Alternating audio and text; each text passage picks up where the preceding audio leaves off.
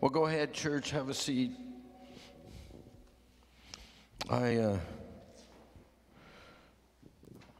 I want to read a passage. It's not even in my notes. It just stirred in my heart. I've known it for a long times, but Paul wrote, wrote to the Galatians church, chapter 2, verse 20. He says, I have been crucified with Christ.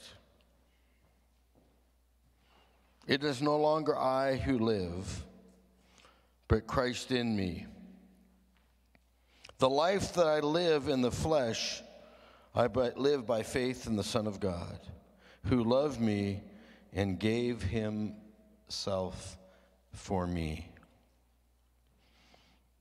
It's not I who live. I'm not out living my life. Now, I know that's a, that's a statement of faith because um, we, we all spend time and energy yielding our lives to the will of God, doing things God's way or my way. How many have ever said, God, I'll do it your way, and then went ahead and did it your own way anyway? There's a lot of ways in there.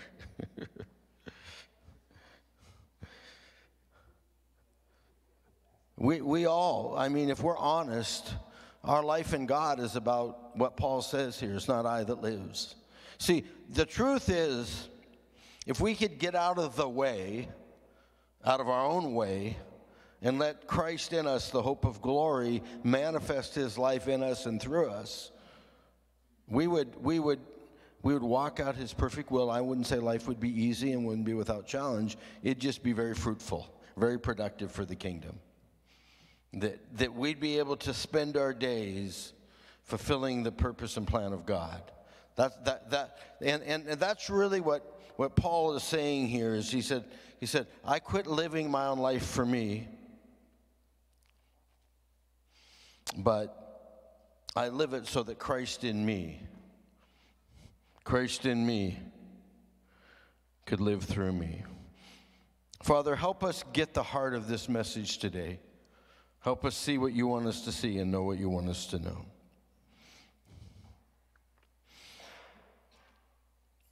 I, I'm, I'll tell you some of my secrets. I always make notes when I preach, but I rarely write a lot of down. I just usually do point forms. I put reminders. I put scriptures, and you know, I'm praying and seeking the Lord. I wrote a lot today. I wrote more than I ever do. If I told you how many pages I wrote down, I'd scare you, so I won't tell you. I had to go back to the store and buy more sheets for my iPad. No. That's a joke. Okay. So we find ourselves continuing in a challenging hour. We're being asked to follow laws and rules that, by all appearance appear to violate our rights to freely worship, our rights to free expression of our faith. When you entered the, the, the building today, you were asked to wear a mask. Now, we've been asking you that for quite a while during our worship time, but um, so you were asked to wear a mask just like when you went into the mall or the grocery store on Friday. Not just when we were singing, worshiping, but actually for the entire time that we're in this building, we've been asked to wear a mask. For many, this uh, seems like a massive overreach of the government. Murray's shaking his head. Rules, bylaws driven by fear and confusion. You might think, well, this is our church. We are children of God. We know who we are in Christ. We can trust God. He's our deliverer, our healer. What's the problem? You might think like that. Some of you might even question the motive of this whole pandemic. Murray shaking his head again.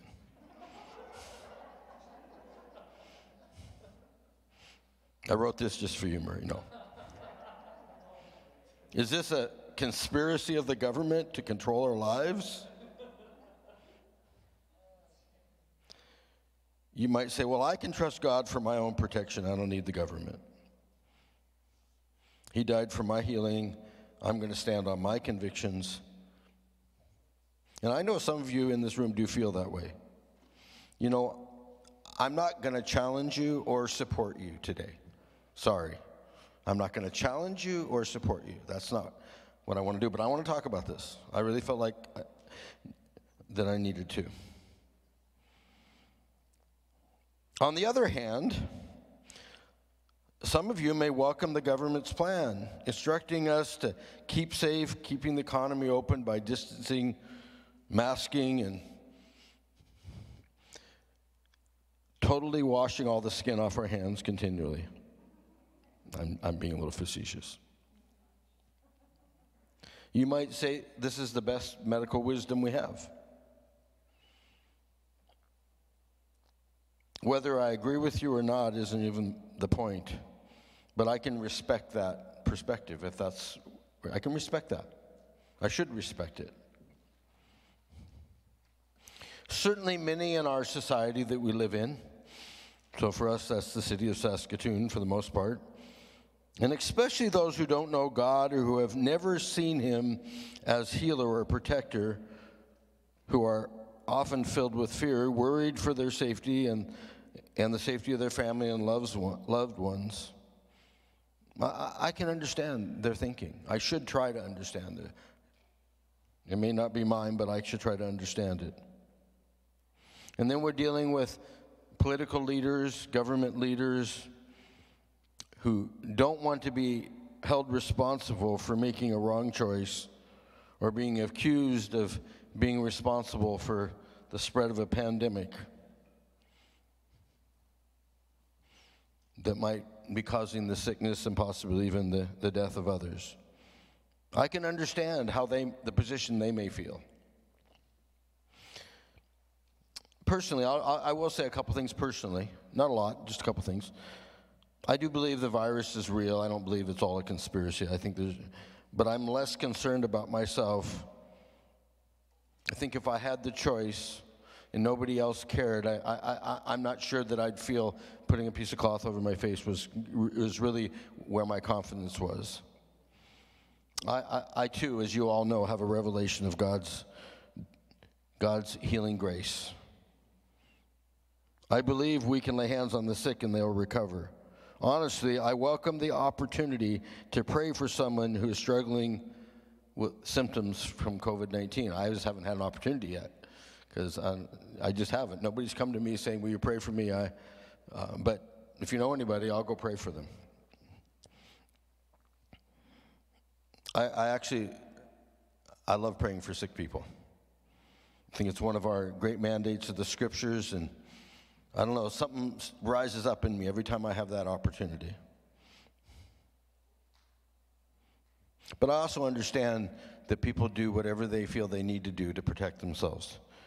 That's normal. So I'm not here really eh, today in, in, in what I'm going to talk about to, to argue, you know, the merits of your position on this. But I really want to talk to us as a church about how we should, I think we should think about all this. Because sometimes I think our thinking gets caught up in, in, in the thought of the day one way or the other.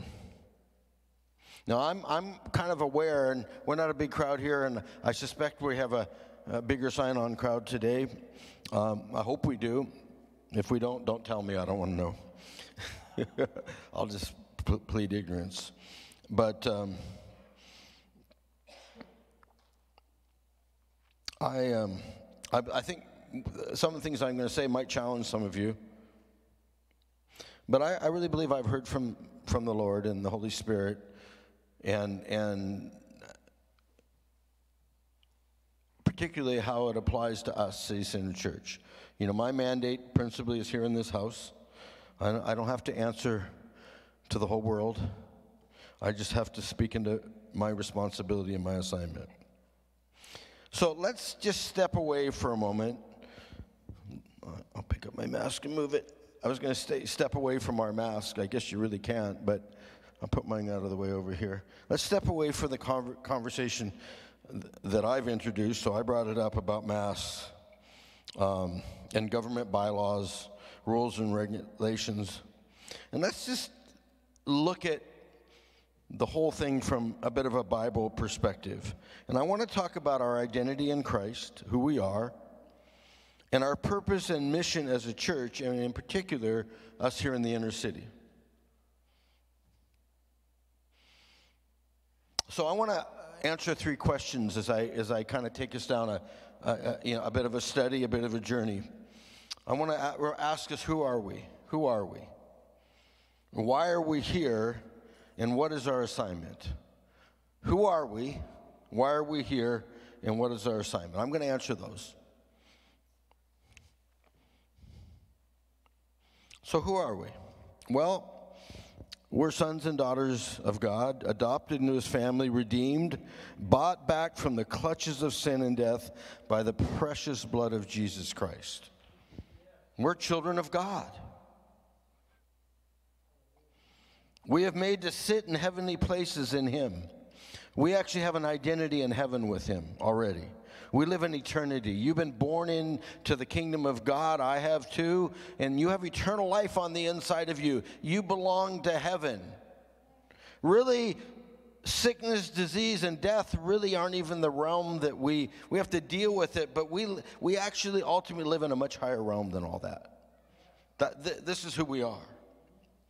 We know that if you're, if, you're, if you're a child of God and you're born again, even intuitively you know that, even if you haven't really got a revelation from the scriptures. That's on the inside of you. We have a covenant that promises us freedom from sin, deliverance from oppression, and healing from sickness and disease. We have a covenant promise of that. We are now citizens of heaven. Strangers and aliens, the Bible calls us. Some translations say sojourners and pilgrims. This means we're traveling through this life. We're passing through life. Earth is not our home. We have a heavenly calling, and eternity's been set in our hearts. We identify with Him more than we identify with our life here on earth. This is really important to know who we are. Yet, or however, we are deeply aware that we have a divine purpose. Our lives are not just for vanity. I hope you really have a sense of that. You're not just here just because. I'm not here just because. I actually believed I didn't have time to go all the scriptures. We'd been here all day, but go back to Ephesians one. You know, you know, uh, he predetermined us before the foundations of the world, the Bible says. That we would be, we would be here in this time, in this place. You're no accident. You're a, you're a, there's a divine design around your life and my life. You, you began to walk into it when you came into the kingdom and, and, and, and were brought into Christ through faith in his death and resurrection. Each one of us has a divine calling, a divine assignment. We are destined to impact lives, to reflect the light of Christ to a broken, lost, and hurting world. We are a people with a mission or a great commission. What's a commission as opposed to a mission? A commission is someone who has actually been authorized to go on a mission. You've been commissioned. You've been enlisted, enrolled in the army of God. We have a mission, and, and in particular for us, our missions here in the inner city. We're called to reach the broken, hurting people that walk up and down 20th Street. There are our assignment.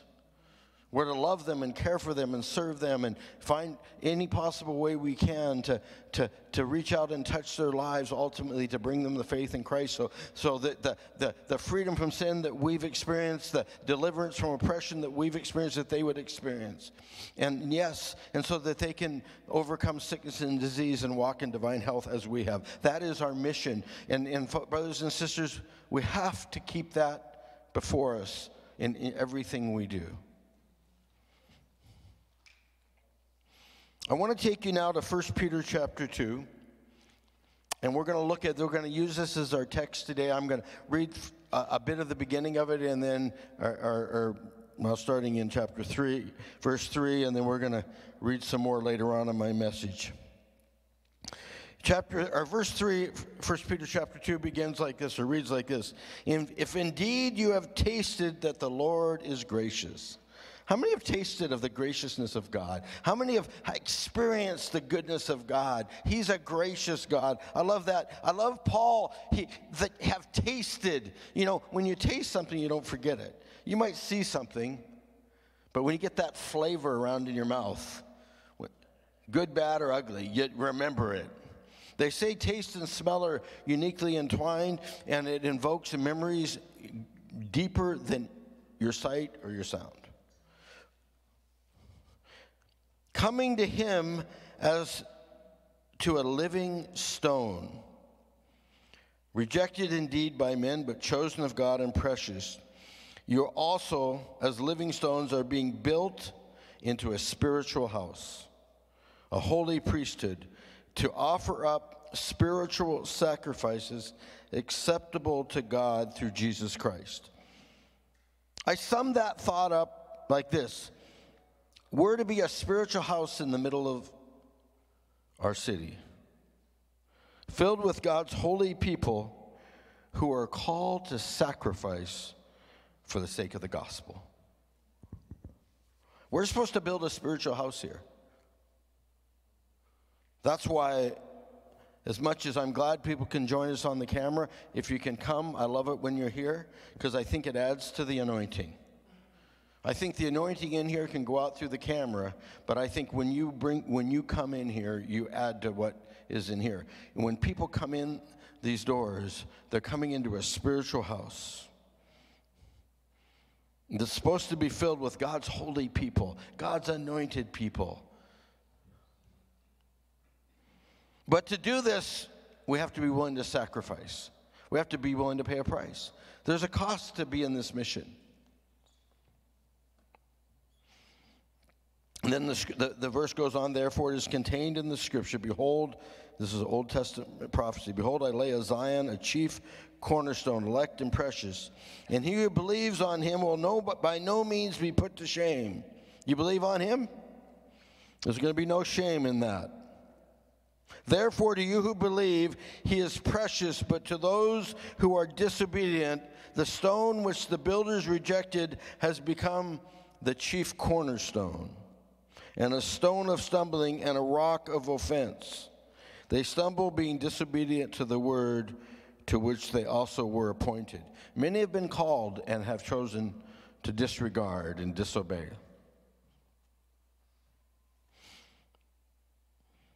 Let me sum those few verses up. Many have rejected the precious cornerstone. But we who believe on him, will not be put to shame. You know why? Because if we'll stay steady, there's going to be an awakening coming. And people are going to say, Now I understand who you are and what you're about.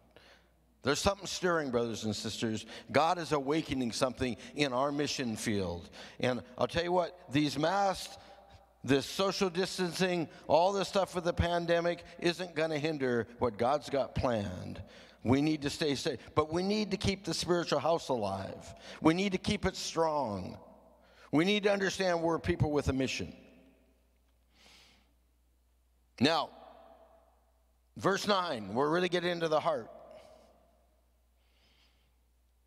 He, says, But you is our identity. But you are a chosen generation, a royal priesthood. Many of you know these verses a holy nation, his own special people. We're, we get a new identity, we belong to him. It's no longer I that live, but Christ in me, Paul said, Galatians 2:20. I read at the beginning. That you may proclaim the praises of him who called you out of darkness into his marvelous light. We all have a testimony, we have a story. We we were called out of darkness into his light. We need to proclaim, we need to keep, we, we, the, the, the priority of our lives is that our lives proclaim the light of the gospel.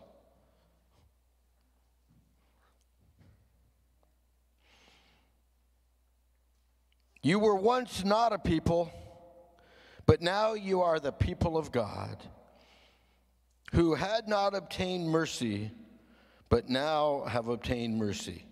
Folks, we have a new citizenship.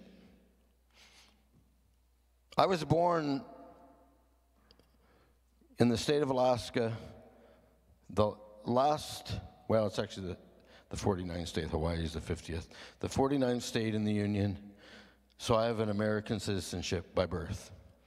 I became a Canadian citizen many years ago. I tell everybody I'm the only American I know that moved south to Canada because I was born and raised in Alaska. If you know your geography, I moved south to Canada. Married a Canadian, she wouldn't let me leave. She tied me up. No. So, for most of my life, I've been a Canadian citizen. I consider Canada my home. But when I was born again, like you, I was actually conferred a citizenship that's much higher than the citizenship I was born with or the one that I got when I went to citizenship court here in Saskatoon in, in the 90s.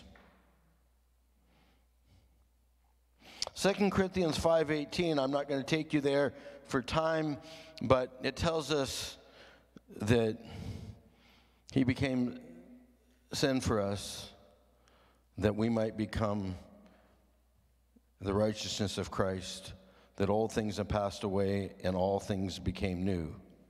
You know that. But it also tells us that as a result of our newness in Him, in Christ, that we became ministers of reconciliation. That means we're servants. Minister means servant, servant to reconcile men to God. That's our assignment, that's our mission and ambassadors of Christ. You have, a, you have an assignment to help people come to know God, and you have an assignment or a commission to be a representative of heaven to earth. Do you know that? That's that as, as citizens of heaven, you not only have an identity in Christ, a citizenship in the family of God, but you actually have an assignment back to earth. That's why we're still here. Actually, I just looked down at my notes, and the next heading is Why are we here? Well, we're called to proclaim his praises and declare the faith, our faith in a crucified and resurrected Lord. He being the chief cornerstone, we become living stones, alive, and we're his representatives to the hurting people of our city. Call to those bound by addictions, oppressed by the devil, those who have been oppressed in the kingdom of darkness. Many who feel hopeless and lost, we're called to them. They are our assignment, they are our mission. Let me tell you what we're not called to do. We're not here to claim our rights and freedoms. We're here to touch lives. There's a great confusion in the body of Christ. And what we do is we confuse our citizenship in earth and our citizenship in heaven. I'm going to talk a little bit more of that in a minute. But our primary mission isn't to claim our rights and freedoms. See, if I have a problem with this, because I think it's being forced upon me, I'm doing it from the position of my citizen on earth, not my citizenship in heaven. If you don't get this, you're going to get it confused. And it's really important because this, this message is, I'm, going to, I'm using these masks, but there's a much bigger message than the mass. The message is who are we and what are we called to do and what is our assignment? Because it touches every area of our life. Long before some government bylaw tried to dictate how many of us can gather and where we can gather and what we can do, and all kinds of things that, as I said earlier, many of you feel is a great overreach. As long as we can carry our mission, if it costs more, so what? So what? There's nothing in this assignment that says that, you, that it's going to be easy or simple. As a matter of fact, there's much to the contrary written in the scriptures about the cost of coming into the kingdom of God. You actually have to give up your life. How many have ever used the phrase, I've given my life to Jesus? How many have ever said that to anybody? I've given my life to the Lord. What do you mean? I took a life that was mine, and because He gave His life for me, paid the price, redeemed me, purchased me with His shed blood on that cross. When I realized what he'd done for me, how much love and how much he'd sacrificed for me, and I accepted it and received it and was born into his kingdom, my response was, I give my life to, back to you, Lord, to serve you with my life. See, we live in a we live in a in a society in a world where everybody's out for what they can get for them. That's the that's the way of the world. That's the way of the uh, of the, the the kingdom of darkness. It's selfishness, self centeredness, self purpose, self gratification is God. In the kingdom of God, we lay down our lives daily. Take up your cross daily and follow me. That's what that means. You don't have to carry a, a wooden cross around on your shoulder. No, you actually realize that you lay down your life for Him.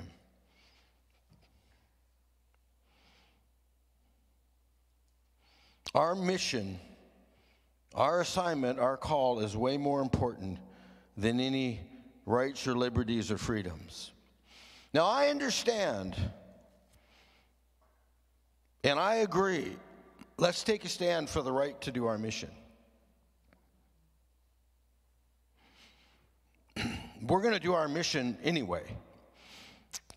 The history of Christianity is full of people that had to choose the mission over the rules of the land.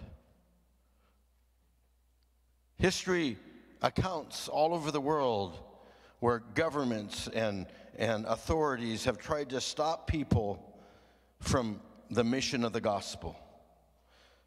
I'll tell you what, you can't stop that. You can't stop that. And there may come a day for you and me where we have to take a stand. And I, I'll be in front of the line. But let's make sure that we're not taking the wrong stand. As my dear friend, Pastor Dave McGrew said, there's not, there's not enough to gain to die on top of that hill. If we're going to die on a hill, there better be something to gain, and the gain better be for the mission for the call and for the assignment. Okay, let me talk just real briefly about the mission. I've, I've taught on this lots. Brad talks about this. But I believe our mission is principally threefold in the, in the Gospels. And I'm not going to really teach this out today. I'm just going to remind you. We'll, we'll refer to the scriptures and we're going to move on. So, Mark Mark's gospel, chapter 16 says, Go into all the world and preach the gospel to every creature. It tells us that those that would believe would be saved, that we're to baptize in the name of the Father and Son and the Holy Spirit. It also tells us that we're supposed to Go out and lay hands on the sick and they recover. We're supposed to cast out demons. It, it, it talks about signs and wonders. I'm, I'm not going to read the whole passage here, but you know it.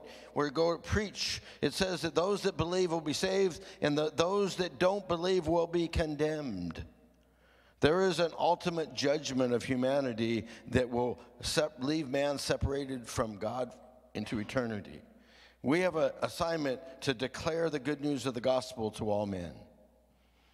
And, and, and to aid us in our assignment, the Bible says that we'll have authority over every demonic activity. We can lay hands on people, we can cast out demons. And that we can lay hands on sick people and they'll recover. That's why I love it. I love laying hands on sick people that they would recover. We're, we we do that. If you're sick here today, we can lay hands on you and you will recover. In Jesus' name. Amen? That's, that, that's, that's our mission. That's part of the Great Commission, is that we would pr- declare the good news of the gospel. In, in Matthew's gospel, should be 26, I think. It says 25 in my notes. I think it might be a typo, but not to worry.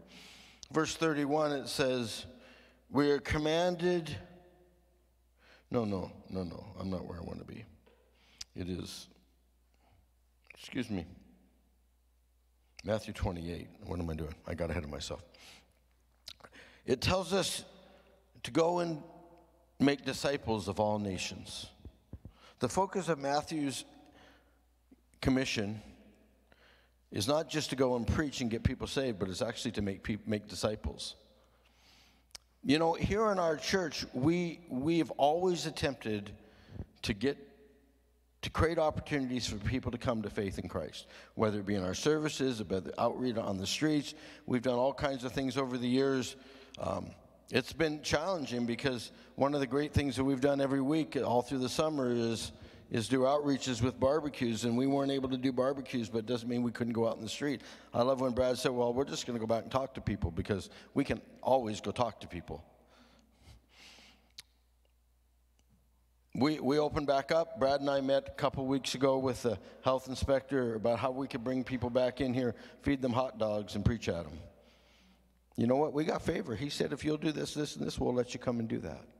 You know, the rules are the churches aren't supposed to serve any food, but he told us we could. We got favor. You know why we got favor? Because we work with them. When we can, we do that.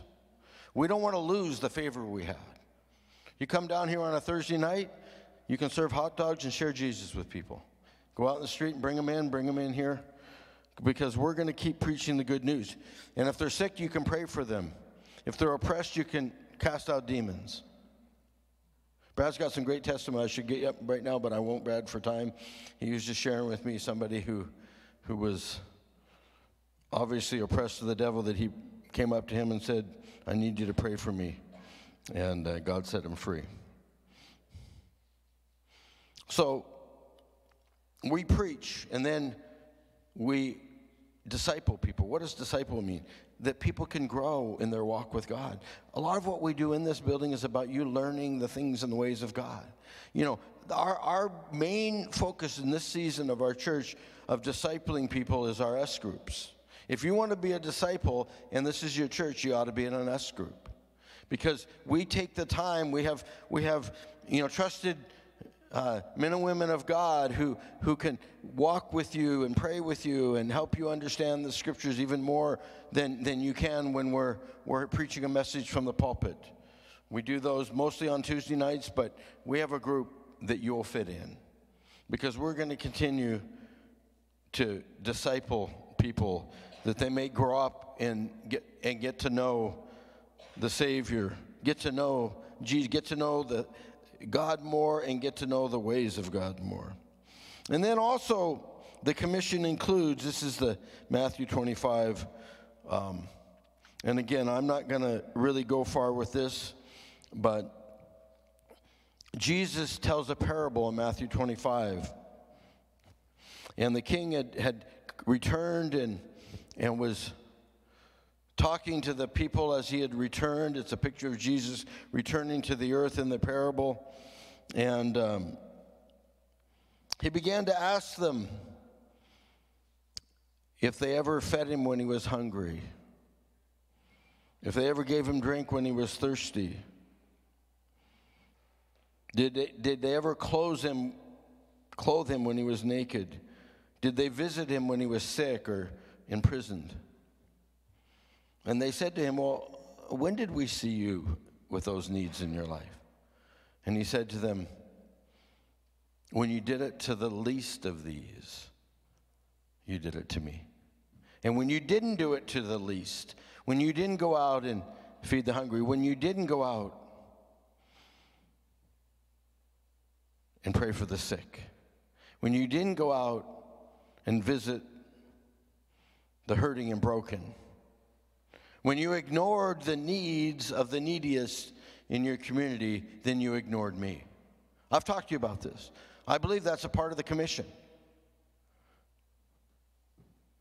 It's part of our assignment. We have a responsibility to keep reaching out into our community here.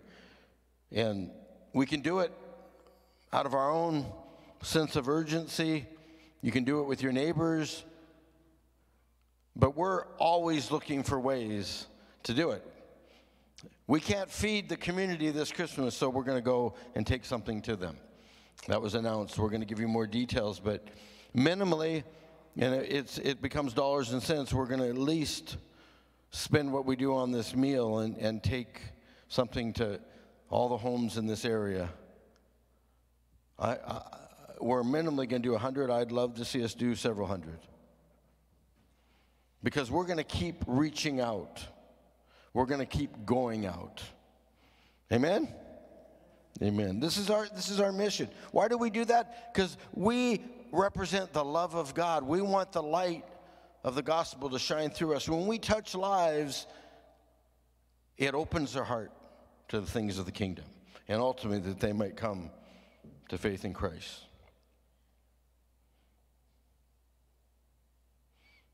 So when we make decisions or judgments about what's going on in the world around us, in the political realm, in the, okay, I'm going to invent a new word, the pandemical realm.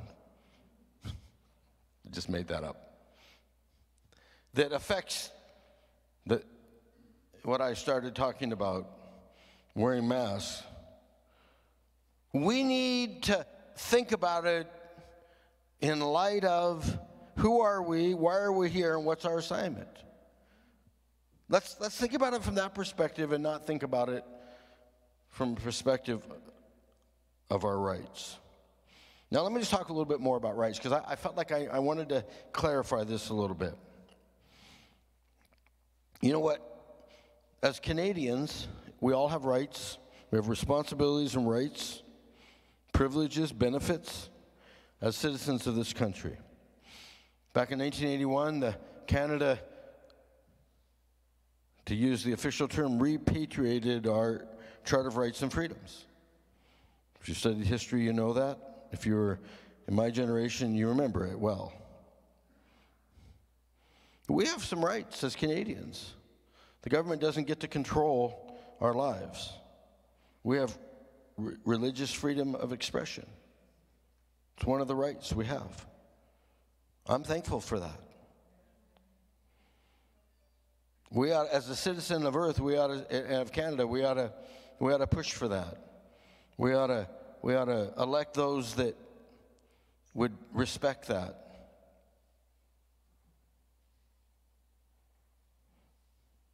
We vote and choose our leaders through the democratic process of our nation, and as citizens of Canada, as citizens of Earth, we can exercise that right. There's nothing wrong. It's probably it's it's the, it's the right thing to do. Our neighbors to the south, they have a constitution. You hear about it on the news all the time. They refer to it a lot. It has all these amendments written to it. The Declaration of Independence that was declared before the United States went to war with Britain to gain their independence. It begins with we have certain inalienable rights and freedoms the right to freedom and liberty and the pursuit of happiness. Have you heard that? I'm sure you have. I'm just using it because we all hear more about the U.S., it seems like, than Canada sometimes. But you know what? Let me just challenge you a little bit. We have a right as a believer to freedom in Christ, but that's not the same right to the liberties that the government wants to give us. And there's no place in the Bible that says you have the right for the pursuit of happiness. There's no place. Tell me where it is. Joy comes from the inside. The pursuit of happiness is a very carnal thing. As a matter of fact, what the Bible says is you give up all those rights, and what you have the right to as a citizen of heaven to endurance, to long suffering. That's what, that, that, that's what you traded in for. You trade in all those rights to, to the rights to serve Christ. Those who will live godly in Christ will suffer tribulations. That's what the Bible says. That's what you've actually chosen over the other. You've given up your earthly rights. Now, as a Canadian, you have those rights still. But they don't trump, they don't, they don't top what you've given up for the sake of the gospel. I don't know about you, but I'm a citizen of heaven before I'm a citizen of Canada. I know, I'm making some of you mad at me. I'm not really trying to, but I want you to get this. We are called to sacrifice our lives for the kingdom of God. We must count all as loss for the sake of our assignment. Paul says, Everything that I've gained, I count it as garbage, that I might pursue Christ. Our mission is to represent heaven. And this requires us to pay a price to endure hardship and to suffer loss. Now, when, you, when, when I put it that way, being asked to wear a mask is really nothing. Because I'll tell you what, the day could come when you're going to be asked to give up a whole lot more than that. Paul declared in 1 Corinthians chapter 6 verse 19 do you not know that your body is a temple of the Holy Spirit who is in you, whom you have from God? You got, you got the Holy Spirit from God, and you are not your own. You don't belong to yourself anymore. For you were bought at a price or with a price. Which translation you're reading from? Therefore, glorify God with your body. Other words, let your body use to bring glory to God. So, what we do with our life and our body, we must judge according to our mission. If wearing a mask means that I can freely minister to others, I would gladly wear a mask.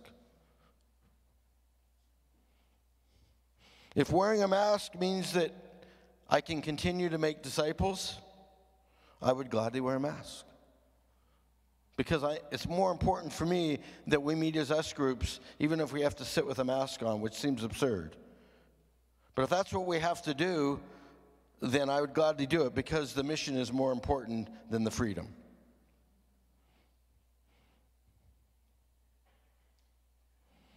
If wearing a mask means I'm free to go and reach out to a hurting soul, I'm gladly wear a mask. It's a small price to pay.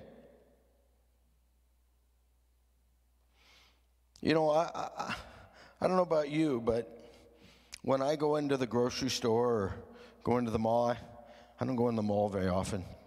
I'm not a mall guy. But I do go in the grocery store from time to time. My wife tends to do most of the shopping in our home, but, but I, now that we don't have any kids around, it's, it's easy for me to go with her. I became very aware before, you know, the, the, this 28 day mask mandate, as you'd go into public spaces like that, that most people were already wearing masks. I'm sure because of fear and worry and some of the things I talked about before. And I'm one of these, I don't need to wear a mask. And one day the Spirit of God said, You know what? You're already put a wall up if you want to minister to somebody. What do you mean, Lord? Because I, I, do that. Uh, you know, you, you, you have opportunities to shed a little light when you're in public. I don't know about you, but look for those opportunities. I hope you do. I know Bob does. Bob is the inventor of those opportunities. You know, if if you're people are going, you know, stay away from me because somehow I have the right not to wear a mask. What are you doing? Are you thinking about your mission or are you thinking about your rights? I'm just challenging a little bit about your thinking. Because we get into this mindset, somehow we have a right. I'm telling you, I've told you this several times, you're, you're actually judging based upon your citizenship of earth, not your mission from heaven. Ambassadors adapt to the culture of the country they're going into, they don't bring the culture of where they came into their country. You're an ambassador of heaven.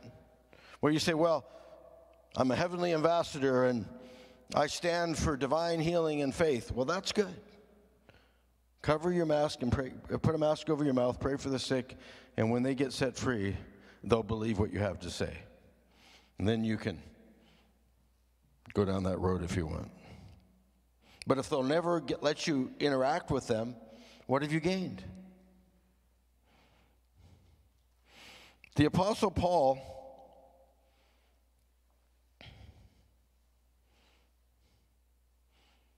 Actually, I want to read this because I put it in here. Wearing a mask is a small price to pay. The Apostle Paul went to Rome where chains awaited him. What the Bible says. It was prophesied chains were awaiting him. He had a, a prophetic word spoken over his life when he got converted to say that he would go before Gentile kings to bear the name of Jesus. Go read it in Acts chapter 9, verse 15. He actually used his citizenship in Rome to go to heaven knowing that he would be imprisoned just so that he could bear the name of Jesus before a king. He gave up his freedom to fulfill his mission because he knew that he was a citizen of heaven. He writes in 1 Corinthians chapter 9, or yeah, verse 19, talking about the liberty has in Christ. I'm picking up kind of mid thought here. For though I am free from all men, in other words, nobody has control over me, I have made myself a servant to all that I might win the more. Isn't that what he said? I've made myself a servant to all that I might win the more. And to the Jews I became a Jew, and that I might win Jews. And to those who are under the law, as under the law, that I might win those who are under the law. He said, I'm, I'm willing to yield to all the laws just that I might win them although I'm not under them anymore.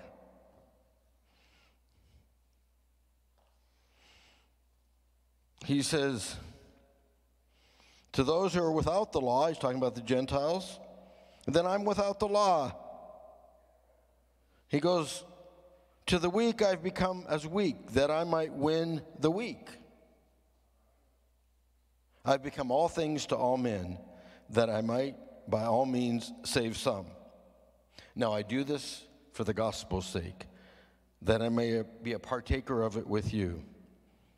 You know, some translations, when he says I became weak, actually say, they may not be quite as literal, but that I become weak in my faith. So then you say, I don't need to wear a mask, mask because of my faith? Really? Really?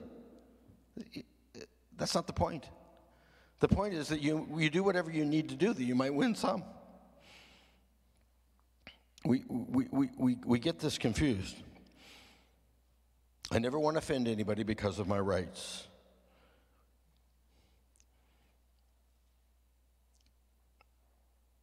If we have to put a mask on to come here to build a spiritual house so that we don't have to go to war with the government. Now, when they tell us that we can't preach the gospel of Jesus Christ, well, we're going to go to war.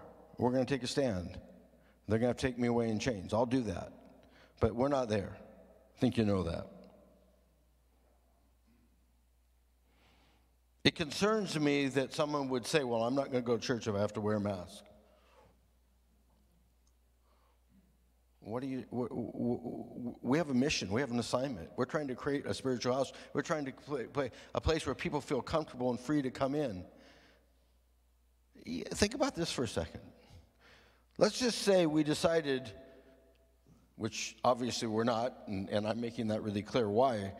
But let's say we decided, you know what, we're not going to wear masks because we, we don't, you know, we, we, we have our rights and, and the government can't tell us what to do and we're not worried and we're going to be in faith. There's a lot of people that would walk their head in that door, look at us, and walk right back out. And then what do we gain? Okay. But I know I've talked to some other pastors. I know churches in our province who've lost people. Families refused to come, have quit the church because they told them they had to wear a mask in church. They quit church. They said, Well, then I'm, I'm not coming anymore. I'm going to find another church because I, I don't believe in that mass stuff. They, they, they got the, they, they, they, they, they, don't, they forgot their mission. They're fighting for earthly rights. Okay, let me take you back. We're going to land this thing. I'm coming to a close here. But there's a powerful verse I want to read. We started out in, in, in uh, 1 Peter chapter 2, where we got into our, you know, we're a holy nation, we're a special people. We got into understanding our identity in Christ and who we are. So I want to pick it up. I'm going to read that part, but I want, I want to read what follows after it, because usually we stop right here. But you are a chosen generation, a royal priesthood, a holy nation, his own special people, that you might proclaim the praises of him who called you out of darkness into his marvelous light. You were once not a people, but now you are the people of God who have not obtained mercy, but now obtain mercy. Okay, so that's our identity. Now it goes on. Beloved, I beg you as sojourners and pilgrims. Remember, I referred to that. This is where it comes from. Abstain from fleshly lust which war after the soul. Don't, don't go after things that benefit you. Don't go after your own personal desires. Lust doesn't just mean, you know, sexual immorality. Lust just means desire to fulfill the things that you want in life for you. Verse 12 having your conduct honorable among the Gentiles. Behave a way that the world's going to say that you're honorable. Right now, that's wearing a mask. And when they speak against you as evildoers, they may, by your good works, which they observe, glorify God in the day of visitation. What it's saying is the way you behave in their presence will determine whether they're going to honor God at the day of visitation. Now, you can take that one of two ways when Jesus returns or when he visits their lives. Are they going to surrender their life to him? It says when they watch you, and the way you handle yourself, it'll say a whole lot to them. Okay, let me read on. Therefore, submit yourself to every ordinance of man for the Lord's sake. Submit yourself to every ordinance of man for the Lord's sake. Whether to the king as supreme, we don't have a king, we got a premier, or governors, as to those who are sent by him to punish evildoers for the praise of those who do good. So this could be like the premier and the health officers and the police. I see all that right there. For this is the will of God, that by doing good you may put to silence the ignorance of foolish men. As free, so you're free, you're free to do whatever you want, yet not using your liberty as a cloak for vice, but as bondservants of God. Honor all people love the brotherhood, and fear God and honor the king. Now, let me read it out of the New Living because it's even a little more direct. Just this last little bit from verse 12. Be careful how you behave among your unsaved neighbors. For then, even if they are suspicious of you and talk against you, they will end up praising God for your good works when Christ returns. For the Lord's sake, obey every law of your government those are the king as head of state, those are the king's officers.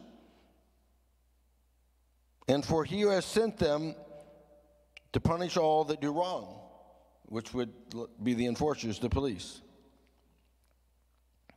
Verse 15 It is God's will that your good lives should silence those who foolishly condemn the gospel without knowing what it can do for them. There's all kinds of people out there that foolishly condemn the gospel because they don't know what it can do for them. So, our good lives should silence them, is what it says. But that doesn't mean you are free to do wrong. Live as those who are free to do only God's will all the time. So the only freedom we have anymore is to do what God wants us to do. We've given up the other. Show respect for everyone, love Christians everywhere, fear God, and honor the government. I don't know, I think that kind of answers it right there in the scriptures. See, what it's really saying is the choices and decisions we make are based upon our mission and our assignment and our citizenship in heaven, not in our earthly rights. Now, this would be a good message whether it's mask or not, because a lot of times we live our lives in such a way that we're just serving ourselves. And really, we're called to sacrifice for the sake of our mission and our purpose.